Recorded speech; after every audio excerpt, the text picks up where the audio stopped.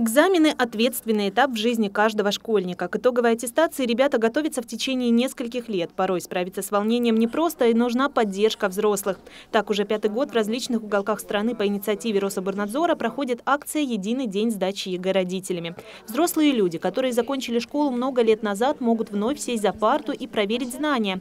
Но главное – поддержать таким образом своих детей, которым только предстоит сдать государственный экзамен.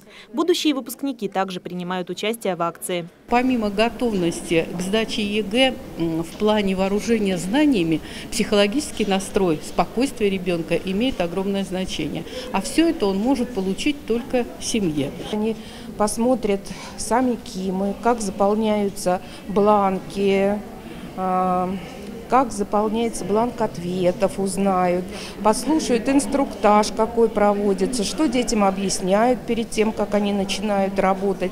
В этом году проводился экзамен по русскому языку. Некоторые родители пришли сдать ЕГЭ вместе со своими детьми. Волнительно, наверное, да, опять идти на экзамен?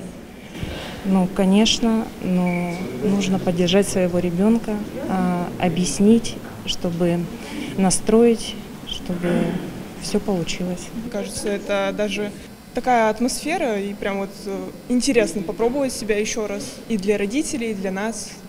Акция состоялась в 23 школах городского округа. К ней присоединились свыше 200 щелковцев. Сдали ЕГЭ в школе номер 4 имени Петра Ильича Климука. Заявки подали свыше 30 человек. Мы не первый год являемся э, муниципальной площадкой проведения всероссийской акции «Единый день проведения ЕГЭ для родителей».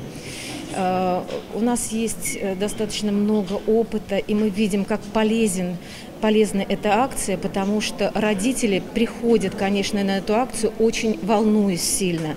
Они переживают не только за себя, как они сейчас опробируют ЕГЭ, но в первую очередь за своих детей. И пройдя через эту акцию, они понимают, что ничего страшного, тяжелого и непосильного в ЕГЭ нет.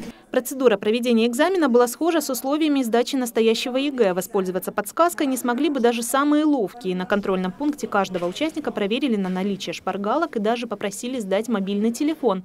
Все как на настоящем едином государственном экзамене. Остановитесь, пожалуйста, Брать с собой лишние предметы нельзя. В аудиторию можно пронести только паспорт и ручку.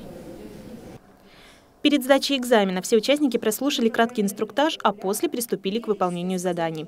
В Подмосковье акция продлится до апреля. Анна Балиет, Сергей Василевский, Щелковское телевидение.